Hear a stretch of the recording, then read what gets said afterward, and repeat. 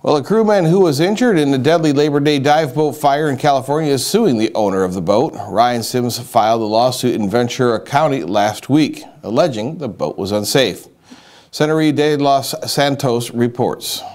This is a 10-page complaint filed by Conception crew member Ryan Sims. He's suing Truth Aquatics and Conception's owner Glen Fritzler, claiming the dive boat shouldn't have been operating. The lawsuit was filed last week. In it, Sims claims the Conception's owners were negligent and failed to properly train crew members. He also claims the company didn't provide adequate safety and medical equipment or provide safety rules. The lawsuit also says the boat wasn't properly inspected. NTSB investigators say five crew members were sleeping on the upper deck of the boat when the fire broke out early Labor Day morning. According to the lawsuit, Sims woke up to loud noises and realized the boat was on fire. The NTSB previously talked about Sims' experience based on interviews with all of the surviving crew members. He tried to get down a ladder, flames had engulfed the ladder, and so the crew that was on the bridge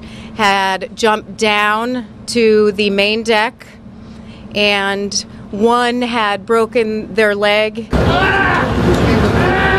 They had uh, went to the double doors of the galley to try to get in uh, to get to the passengers, but it was engulfed in flames at that time. The complaint says that Sims is the one who jumped from the top deck, breaking his leg in three places and injuring his back and neck. Ken Kurtis, the owner of another dive company called Reef Seeker, says in an interview just after the fire, it was a tragedy that no one expected. He also commented on the existing safety features on dive boats. First of all, there is no way to lock people in the bunk room, even if even if you wanted to. There is an escape hatch at the back end of the bunk room, and the boat has firefighting equipment.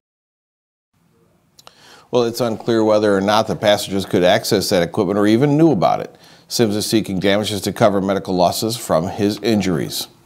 A sixth crew member who was sleeping below the deck was one of the 34 people who died in the fire.